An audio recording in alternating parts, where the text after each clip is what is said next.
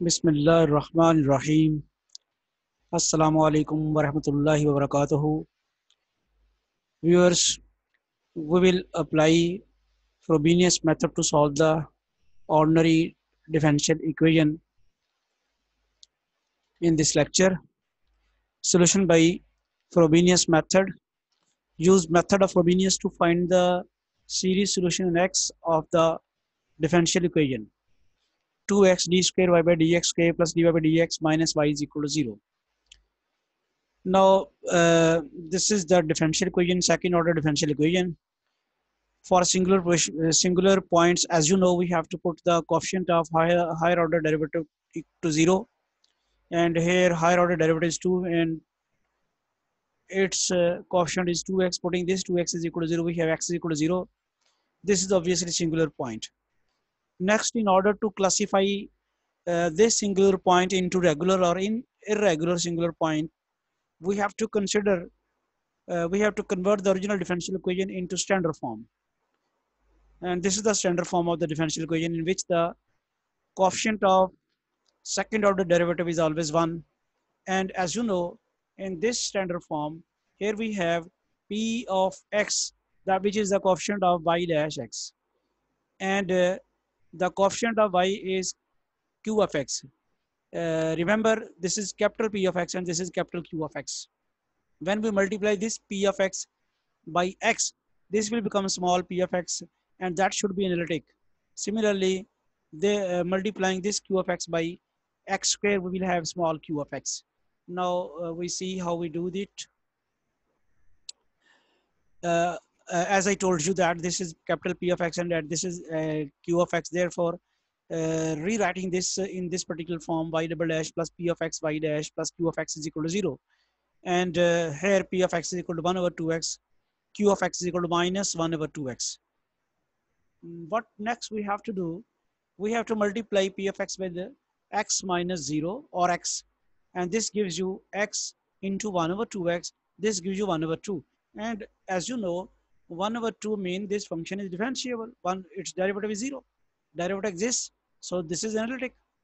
Similarly, x minus uh, x minus 0 square into q of x is equal to x square into minus 1 by 2 qx is equal to minus 1 by 2x. This is once again differentiable.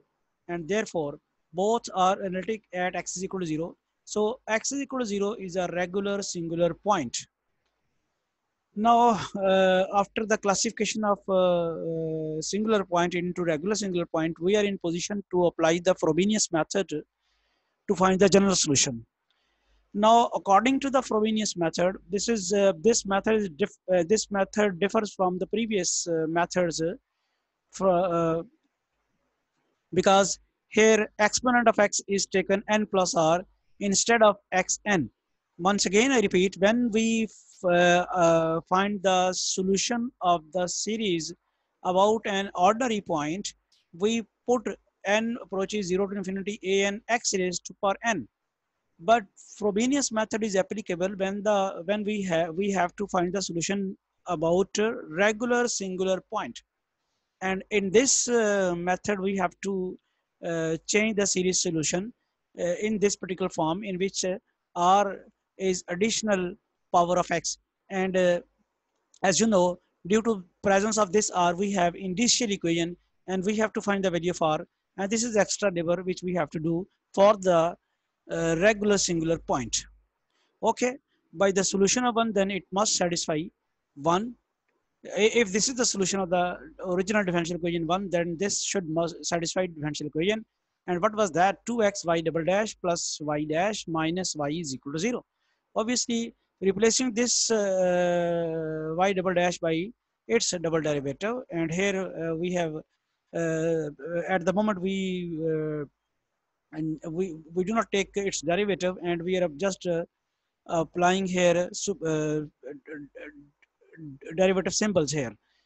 Now taking its second derivative we have n plus r into n plus r minus 1 x n plus r minus 2 keep in mind second derivative. First in the first derivative you will get n plus r here n plus r and x plus x raised per n plus r minus 1 and then once again we will put the power here n plus r minus 1 and we will have x raised per n plus r minus 2 and this is the second derivative of this form where an is kept as uh, kept as it is because because it is constant.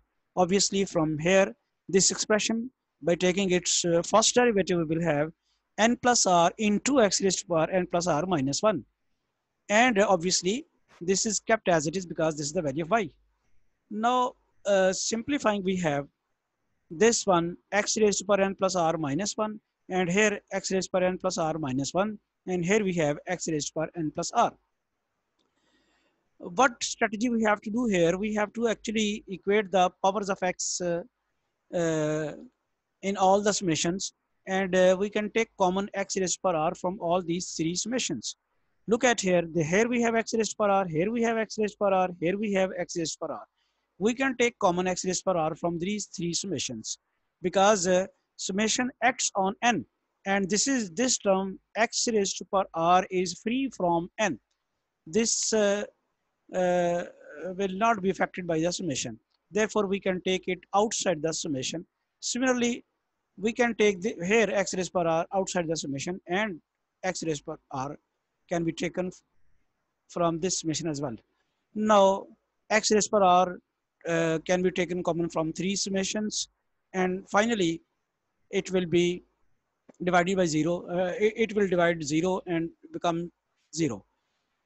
Means uh, this will this term x raised per r will be vanished and we will have this thing now here look at the difference. Here we have x raised per n minus 1 and here we have x raised per n minus 1 here we have x raised per n. Uh, what we uh, were doing in the last uh, lectures, previous lectures where we uh, were solved, uh, we were we were solving the questions about ordinary point, and we were making a x raised per n in all the terms equal, and we were making a summation in all the terms equal. Summation all the terms equal means summation should start from zero or one or something else but uh, starting value of uh, all the summations will be same and uh, x is for x power of x should be same in all the summations okay what here we do here we combine x raised power n minus 1 because here we have two terms two summations in which we have x raised power n minus 1 that's why we have taken common a n and x raised power n minus 1 from these two summations keeping this summation aside okay, this will, uh, after the simplification uh, becomes, and uh, once again, simplifying, we have 2n plus 2r minus 1 into n plus r, and x raised per n minus 1. And this summation remains as it is. Okay, what is the next step? What is the next step? We have just put here n is equal to 0. Now, uh, my question is uh, uh, from you, if we put n is equal to 0, then for the next term, the summation will start from what number? What number? 1. Yes, yes, it's correct. If you put n is equal to 0 here, we will, we will have first, we will have first term aside and then we have to start summation from n is equal to 1. Okay, look at here, putting n is equal to 0 in the first term and starting the summation from n is equal to 1, we have this. Obviously this will become 2r minus 1 into r a naught x raised power minus 1 and what what we are doing here we have to uh, uh, equate the powers of x in both summations and this can be done only if we put n is equal to n plus 1 here and therefore in the first summation everywhere we replace n by n plus 1 here we have n we replace n by n plus 1 here we have n, we replace n by n plus 1. Here we have n, we replace n by n plus 1. And once again, here we have n, we replace this n by n plus 1. And finally, for uh, uh, the purpose which we are, which, which, uh, for which we are, we were doing this, replacing n by n plus 1 we have here. And what it does, min, plus 1 minus 1 will cancel out, giving you x raised per n. This was our purpose to uh, equate the powers of uh, x in the both series okay here we have this one, this one will be cancelled out and n will start from 0 to infinity. And here we have x raised power n. Okay, in both uh, uh, summations, uh, we are succeeded in uh, uh, starting from n is equal to 0 and keeping x raised power n both summations. Okay, after doing this, we can take common from uh, these two summations x raised power n, giving you this term minus this term an and taking common x raised per n from this. As I told you in the previous lecture, uh, while defining the initial equation, this is the coefficient of lowest power of x. And obviously, uh, uh, initial equation is obtained by equating the coefficient of lowest power x to zero. Obviously, this is the coefficient of lowest power of x. Lowest power of x is here x raised per minus one because here we will have x raised per zero and lowest power is here minus 1 this is the lowest power. And its coefficient is r into 2r minus 1 a naught. And when we equate this r into 2r minus 1 a naught is equal to 0 this will give you the initial equation. As you know we have a, a, a direct method for finding the initial equation as well in which uh, what was that method?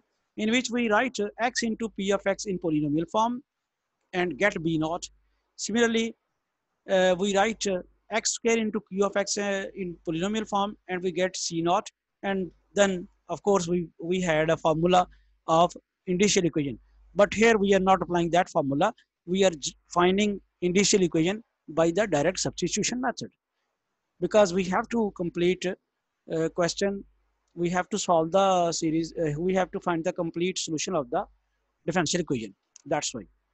Okay comparing coefficients of x minus 1 x raised per n we have this is the initial equation which is uh, the coefficient which which is which is obtained by equating the coefficient of x raised per minus 1 r into 2r minus 1 ar a naught is equal to 0 and this is the uh, coefficient of x raised per n equating to 0 and from here we have r into 2r minus 1 is equal to 0 and this gives you the two values of r is equal uh, r one is r is equal to 0 and the other is r is equal to 1 by 2 after getting these two values this was the extra labor which we had to do.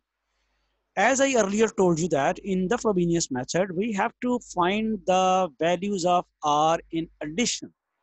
And though finding r from 7 we get we put the value of r is equal to 0 uh, sorry uh, here we have the recurrence relation from equation number 7 an plus 1 is equal to an over this n plus 1 r n plus 1 plus r into 2 n plus 2 r plus 1 and uh, putting the two values of r obviously this recurrence relation in, involves r here and we got the values of r 0 and 1 by 2 when we put r is equal to 0 in this recurrence relation 9 we get uh, sorry first uh, uh, i think we are putting r is equal to 1 by 2 and when we put r is equal to 1 by 2 here and after the simplification we will get this recurrence relation when we put r is equal to 0 in this uh, uh, recurrence relation, we get this uh, recurrence relation in another form. Therefore, we got two recurrence relations 10 and 11 from the 9 by making the substitutions of r is equal to 1 by 2 and r is equal to 0.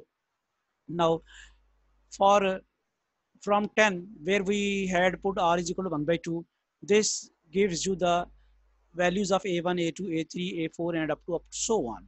And similarly, from equation number 11 where which was uh, which was the recurrence relation obtained by putting r is equal to 0 we got the values of a0 a1 a2 now here this paragraph is very important to understand. Here we encounter something that did not happen when we obtained solutions about the about an ordinary point. When we were finding a solution about uh, ordinary point we got uh, coefficients in terms of a0 and a1 but here the situation is different one. We got the coefficients in terms of A naught. Here we got the coefficients, uh, we got the uh, A, A, A1, A2, A3 in terms of A naught. And in the second column, you see, we once again got the uh, coefficients A1, A2, A3 in terms of A naught.